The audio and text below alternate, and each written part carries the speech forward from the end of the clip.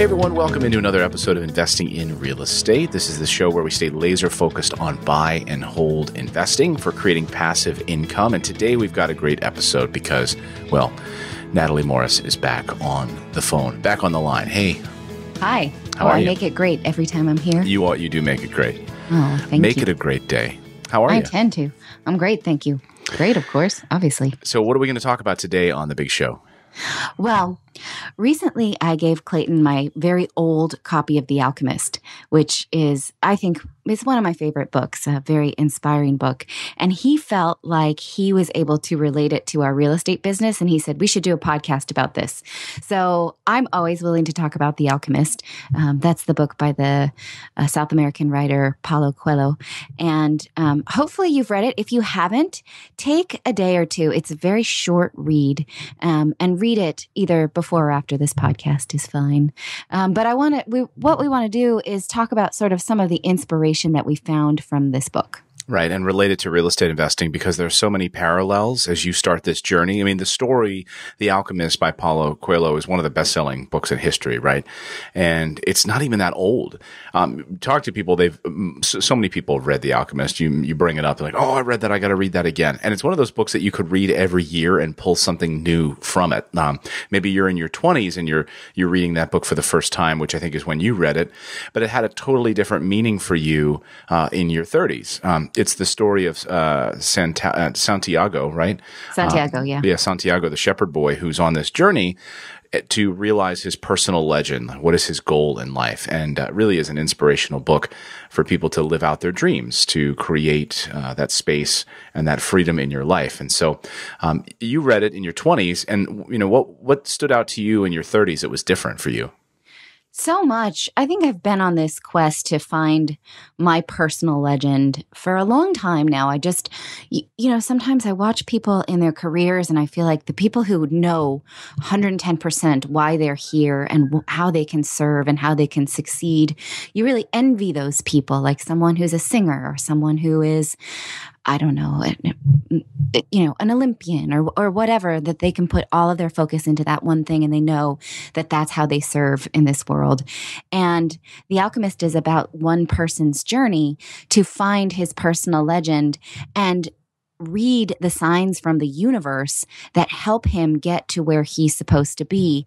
And the really the crux of the lesson here is that if you are following the signs of the universe and acting with sincerity and being brave, then the universe will conspire to help you succeed in life with not only beautiful adventures and relationships, but also monetary rewards. Like this is about someone who goes on in search of an actual treasure that's worth value.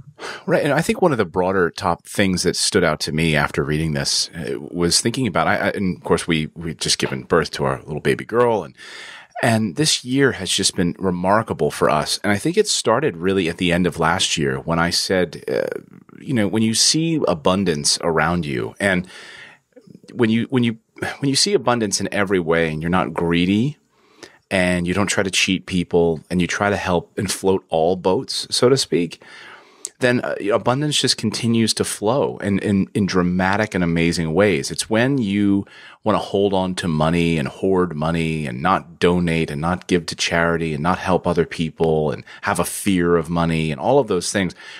When you, you really create these limiting beliefs and then you really, I think, you align yourself with that negative energy in a way where, you know, great real estate deals don't come to you and passive income does not come to you and more obstacles start appearing in your way because you don't see abundance. You don't think in those ways. Right. And maybe people don't know this about us, but Clayton and I, when we run our business, we really try to think through each decision spiritually. Like, how does that affect other people? And how can we then help other people? We, we really want to make every single decision in a way that either aligns our energy with our highest and best purpose. And we feel like real estate investing is something that we're good at, but we want to take ego out of it. And, you know, that's one of the big lessons is that the protagonist doesn't have a big ego. He's willing to learn in every challenge that's presented to him, he's like, well, okay, you know, I know this from my previous lesson when I was a shepherd or when I worked in this crystal shop. So, you know, I learned that. What can I learn next? Um, and so I think that's what makes us a really good partnership is that we can sort of make these decisions together and we believe the same thing about, again, trying to find our highest and best purpose, um, trying to learn each lesson that's presented in front of us. And we've had some challenges. This week has been particularly challenging, um, you know, with with certain decisions we've had to make. And we always can say, okay, you know, where do we want to put our energy here and how do we think it serves us? Right. And for me for morris invest and our company and our you know our turnkey company and what we do with our investors and what we do with our own personal portfolio. You know uh, is is our energy aligned in such a way where we're helping those people we're you know shutting out any sort of negativity but really doing the best possible job that we can do for people um, whether it's tenants living in a property whether it's contractors. Literally right before this con- um, podcast you were paying contractors. You were like hey we'll get we're going to start the podcast but i want to get these paychecks out. I want to get these uh, you know these checks out to people. Because you know, that's important, right? That's very important to take care of people and to see abundance and make sure that everyone is in that alignment. And that's one of the big takeaways from the book, which is always take action. Um, right. Yeah. You know, he says there's only really there's only one way to learn, and it's through action. And eh, you know, Santiago in the book, he pops and stops at these different villages, and he sees people who have sort of just stayed there for 40 years, right, or 50 years, and they've they they've wanted to go out and explore, but they just they just kind of stayed and they never took action. Maybe they, I, I like to think of it in real estate terms, right? They just hang out in internet forums and they just read, they talk themselves out of ever taking action. Because if you want to search the internet, you're always going to find an excuse to not do something right? Like, oh, maybe I want to go paragliding with my friends when we're in Colorado this this this summer, right? Well, then you start Googling, you start spending like a lot of time on the internet, like talking yourself out of paragliding, right? Because of one person in Idaho that had an accident because he didn't properly hook up his carabiner to his chest or something like that, right? You're always going to find an excuse if you look for it hard enough. And I think that was one of the big lessons for me in this book is that these people that Santiago runs across have made excuses uh, for not going out and exploring and looking for their personal legend. And he says that one of his big lessons is being able to read his surroundings. And he says one and one I think one of the things that if remember we watched that documentary on following your heart. Right. Do you remember what it was called? I think it was just called Heart. It was the follow-up to the movie The Secret. Uh, okay. I, it was by the same producers. the last two years. I'll look it up while you're explaining here. Let me let me look it up okay. while you explain. We'll, we'll, tolerate your typing while you look that up. Mm-hmm. Um, but I, think you know Paulo Coelho is featured in that, and he, one of his lessons is that your heart is going to lead you in specific directions, and your responsibility as a human in this incarnation of your life is to follow those instincts and take action on those things because the heart knows something, but the heart is sort of in cahoots with the universe to show you your way. And so you have to constantly be reading the signs externally and internally. Right. It's called The Power of the Heart. It's a good documentary. It's the follow up. It's by the producers and the director of The Secret. Um, and if it's in alignment with goodness, I think that's another key takeaway is that, you know, if, if it's, if your journey is in alignment with helping and, and in improving the overall collective consciousness, I know this gets a little esoteric for people, but I like to think of it that way. I had someone recently say to me, you know, thank you for what you're, you're doing with your company because you've basically rebuilt an entire street. Houses that had were completely abandoned, vacant, fallen into disrepair. Like I can count on my go down that street. Almost every house on that street we've revitalized. Right? We've you you're helping a community. You're helping um, you're helping tenants. You're helping contractors. If you're if it's in alignment with helping everyone, then you know you're on a good journey. But if it's about ego, if it's about greed, then that's not in alignment. And, and if this is seeming a little spiritual for people who are like, oh my gosh, business is business, um, I'm going to really highly suggest the book Conscious Capitalism by, uh, I can't remember his name off the top of my head, but Clayton won't let me type while we're podcasting because otherwise it sounds like this. Yeah, listen to how loud she types. She, it's like a herd of like buffalo it. coming through. Um, so, uh, well, I'll look it up while I'm talking to you. But Conscious Capitalism is written by the owner of Whole Foods, John Mackey. Thank you. Yeah. And um, he talks about the very specific business models that show when you make business decisions in light of the collective good, you always make better profits. It's pretty remarkable too. I mean, it really is. Um, you think, oh, this is going to cost me more. This is going to, you know, be more money out of my pocket, and it's never the case. It really is not. Um, so that's a that's a key takeaway, right? Always taking action. Um, another thing that I like to talk about is fear. You know, fear in the book. Fear is a bigger obstacle than the obstacle itself, right? It's the FDR quote, right? You know, mm-hmm. w- the, nothing to fear but fear itself. Um, and one of the things that he says in the book, right? Tell your heart that the fear of suffering is worse than the suffering itself, and that no heart has ever suffered when it goes in search of its dreams, because every second of that search is a second in a second's encounter with God and with eternity. Now, that's very spiritual, but it is true that fear holds us back from ever doing anything. I mean, this is really what either you're motivated out of love or you're motivated out of fear. Right. And I think we can share that when we first started buying rental real estate, of course we were afraid. I remember this, I have this memory very vividly is that Clayton and I had gone to the gym and we had our kids down in childcare, and Clayton had bought um, his first two rental properties, at least since we had been married. Um, it was like our first family investment in Michigan. And it took a couple of weeks to have them rehabbed. We had a contractor that we had a really good relationship with.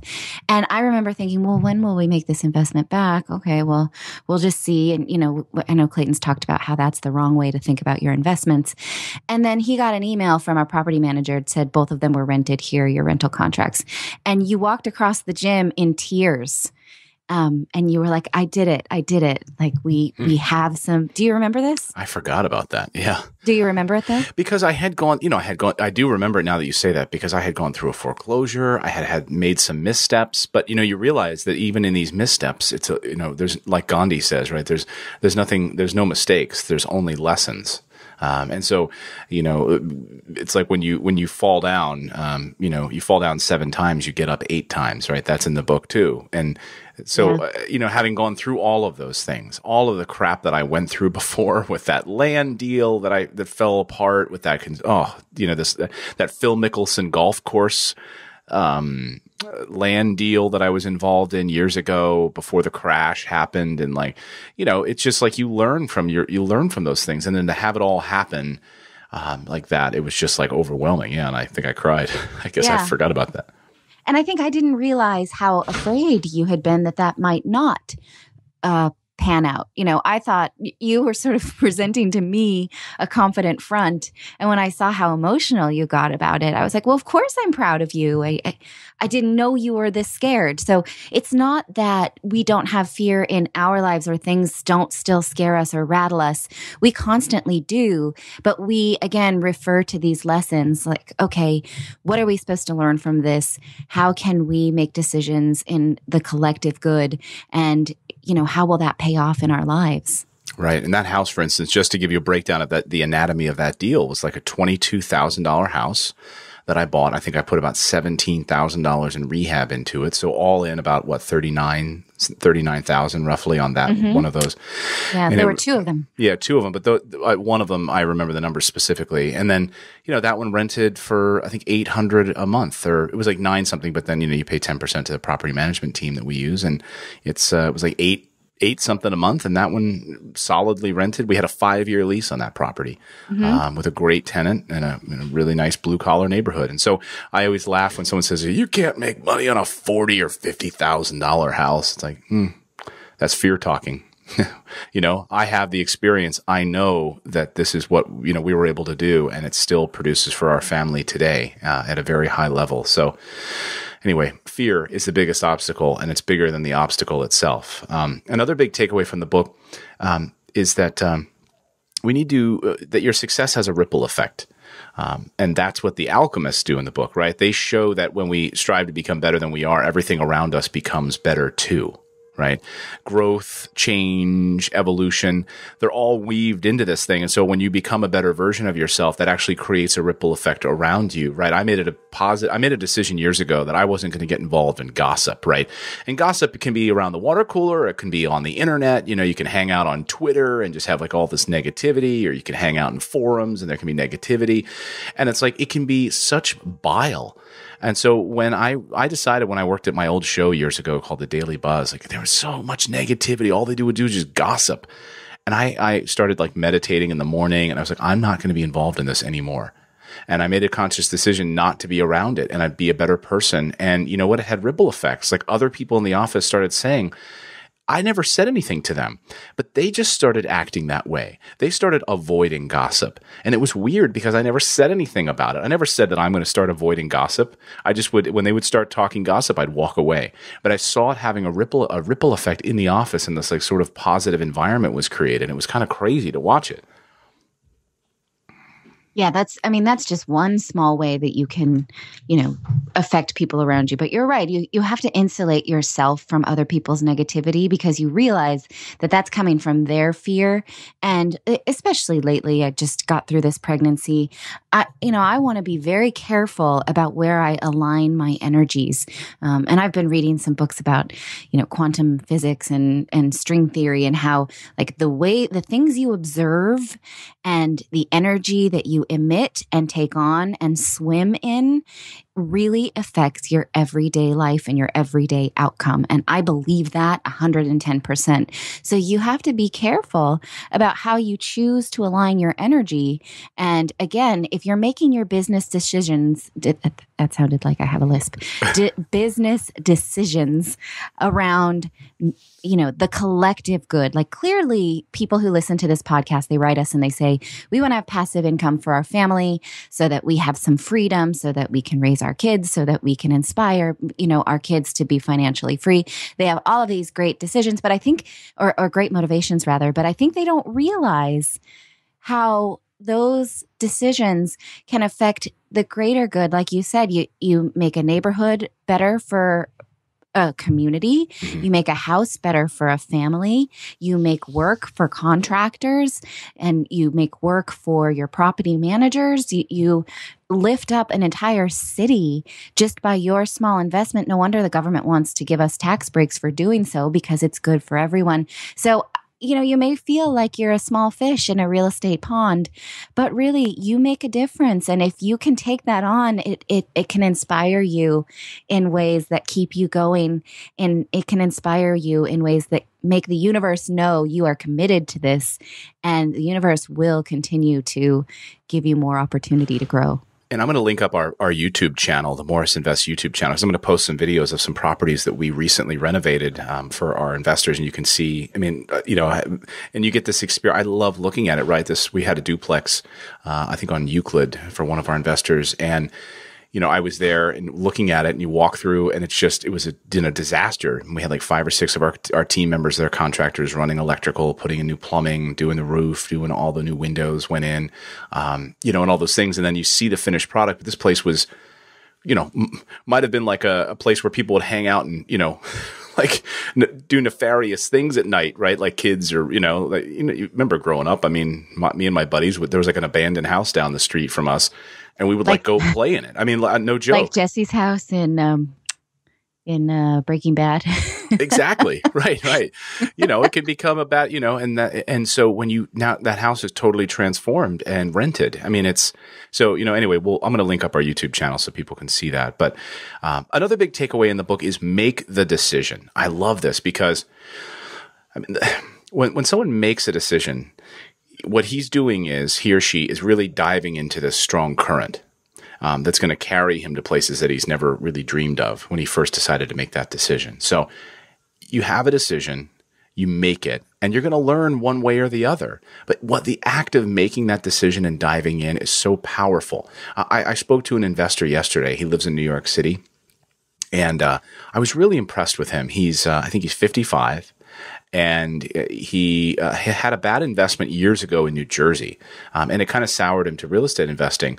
But then he started to, you know, listen to our podcast. He realized that you could invest not in your backyard, right? It was cost it cost him like hundreds of thousands of dollars, like the property that he had owned. But he said, "I'm taking action. I'm going to take action." And I think he picked up uh, one or two properties, um, and he's he's taking action, and he's so excited about it. And I was just so like proud of that because for other people will sit on their hands, but for him, by the he went through a bad experience years ago. He was trying to manage it himself. He, you know, uh, he had, and it was just like a series of things, right, that that went wrong for him. And the fact that he dusted himself off and decided to take action and make a decision again um, really shows that he's like throwing his energy into that current again, um, and he's going to, you know, be able to reap the rewards of that, which is amazing. Yeah, it takes guts. I mean, you know, it's easy for me to say, um, but I don't, I don't know if I didn't have you, like how much action I would take. I know, I know, you know, my, my, I think my forte is more sort of organization and, um, and maybe big picture type thinking, but, um, you know, uh, we all need someone to inspire us to to do that. So hopefully, this podcast is is something that will um, inspire others and and help others to inspire others, and it'll have a have a ripple effect. Because I, I, feel like that's not something I can take credit for. Well, no, and you and I talked the other day about we should do a podcast specifically devoted to how to work with your spouse in real estate investing, and we can dive in much more deeply into that. Um, but yeah, you're right. I mean, because it's very easy to um, to be caught up in. Um, you're right, honey. You're a wimp. well, no, it's easy to get overwhelmed by the unknowns, right? And these like finer details. So you're like, okay, I want to invest in real estate. Well, there's a lot I don't know, and there's so many little details. Well, that should stop me from ever taking action.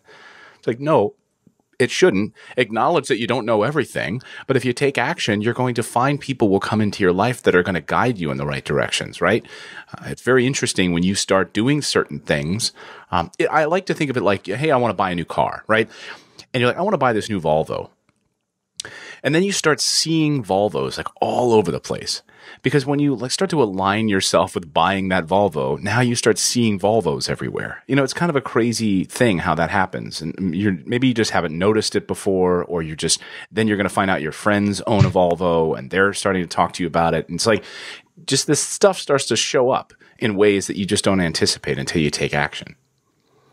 Right.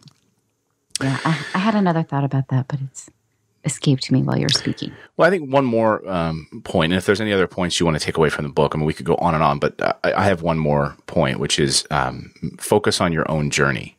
Um, that I, I, like that from the book, which is you know if someone I have I've struggled with this over the years, right? And it's very easy to have that sort of shiny object syndrome in anything you do in life. Um, uh, so if someone isn't what others want them to be, then the others in the book You really become angry. Everyone seems to have a clear idea of how other people should lead their lead their lives, but none about his or her own. So everyone wants to tell you why you're making a bad decision or why you're making, you know, everyone has an opinion. Everyone has an opinion. And the only opinion is the one that you hold of yourself and the ones that you are you know are true for you and your family. Um, you were mentioning something that uh, that Oprah had said in a recent interview with uh, Brene Brown, the author of that great book, Rising Strong. And she said, "How do you deal with the negativity? You know, there are people out there in internet forums or just wherever that just want to always trash talk you and all this sort of stuff." And what is what did she say? She said, "I don't read that. I'm not going to take that on." That yeah. was it. It was very simple. She's like, you know nope, that I don't have time for that. and you know that's a woman operating at like the highest level, right? Like she is, eh, regardless of what you think of Oprah, right? Here's a woman who has her 10,000 hours of experience in dealing with negativity, right? And she's built a massive empire. So people want to say negative things about her. It's like Martha Stewart, right? People want to say negative things screw them. Who cares? Right. You know, everyone's got an opinion. Oh, you can't buy $40,000 houses. Oh, you can't invest out of state. Oh, you can't do this. You can't do that. Oh, you can't borrow from your 401k to buy real estate. Oh, you can't get a self-directed IRA. I mean, there's so mu- there's so many people that don't have their eyes on their own paper that want to mm-hmm. tell you how to live your life. Ignore them. Follow yeah. your own journey. Focus on what's important to you. Right. Otherwise, you're going to end up being miserable if you end up living someone else's life. Right. And one more thing that you and I had talked about was um, the Englishman, the character of the Englishman, which I hadn't realized I, maybe I In hadn't book, in realized the book, right. it- right, and yeah, not just Englishmen. Right in the In in, the general. in the alchemist, right? We're talking about a character. Um, th- this character that was was so committed to learning what he could from books that he couldn't read his own surroundings. Um, and you had said he is the perfect juxtaposition to you know then the more successful character, the protagonist of Santiago. Do you want to expand on that? Did I? Yeah, yeah. No, I mean it's true because he was really the guy. You know, as eh, he he kept. I think he had like a bag of stuff that he he thought he needed to be. Right, the Englishman. He he was trying to become the alchemist. Right, he was trying to do what Santiago was doing, but he was doing it inauthentically. He was doing it because what other people were doing. Right, um, and it's easy to be influenced by other people, but and but you're just going to be miserable if you just end up living someone else's life. I mean, and so he had the sort of plan, but he was it was like it, it was like he was carrying it out for all the wrong reasons. And then when Santiago asks about this Englishman, um, there, there's I, I don't know if it's I, I didn't mark the exact quote, but um, he's told you know some people get so obsessed this is a paraphrase uh, with words and images that they can't see their surroundings. And i've thought about that since we both read it in the last couple of weeks. I've that's the line that i've sort of been chewing on a lot because you know you can fart around on facebook and you can read books and you can really get really attached to what you see on some kind of digital screen right? Um, something on netflix something like we're i think we're really distracting ourselves a lot of times with too much digital media Mhm. that that we're losing touch with what the physical signs are in in our world. Um, and i do believe that you know you'll find little omens little signs throughout your life. Um, if you haven't already go back and listen to clayton's empower podcast. There's some great stories about that. Um, i am a 110% believer that you can find actual signs to point you in the right direction. And i don't want to miss them because i'm looking at instagram or something. So i've really been trying to like not just amuse myself for no reason with Mhm. digital media. And maybe that's I mean, clearly Paulo Coelho didn't have that lesson in mind when he wrote this book because it was long before the digital age. Well, it's early 90s, but um, Yeah, it's easy to that- be. that's a lesson for me is that you, you know don't distract yourself with looking at what other people are doing or looking at other people's deals or looking at real estate forums. Those are words. Those are those are not the lessons. The lessons are out there for you. You've got to like reach your arms and you know reach out for what the world has to offer yeah, that's a good way to. That's a good way to wrap this up. So that's really the alchemist's Gu- alchemist guide to real estate investing. I had a lot of takeaways for our own personal journey. Well, that's I'm gonna. so glad to have done this podcast with you because I, I gave Clayton the book and then he gave it back and was like, that was great. And I was like, tell me, tell me everything. Um, clearly, you had thoughts that you were saving for the podcast and not your wife. exactly. you don't pay attention to me in real life. Just pay attention I was asking for this. I know, I know. wanted this synthesis, but I'm I'm so glad we got it. But we just didn't do it in private. So go out and read The Alchemist. It's a fast read. You'll read it in just an afternoon, and it could change your life. It's such a good book. Um, and again, we'll link up uh, just some. You can see some of the changes and things for our YouTube channel as well. You can see some of the videos there, and we're going to be adding more um, and some adding some really great videos on our YouTube channel. Just some really good takeaways in real estate investing. So go over and subscribe if you're not on YouTube. It's a lot of good, a lot of fun. We're going to putting a lot of great work into that. So, and thanks everyone for subscribing to the podcast. I'm really excited and thankful that you downloaded today's podcast. Um, we're always uh, we're always here every Monday, Wednesday, and Thursday. On Monday, we do I do a solo episode. On Wednesdays, Natali and I are here together, and Thursdays we've got an expert on the show that we dive deep on a particular subject around passive income. Any final words? I don't have final words. Well, thanks everyone. We'll see you back here on another episode of Investing in Real Estate. Much love to you all and to you, my lovely wife. Thank you.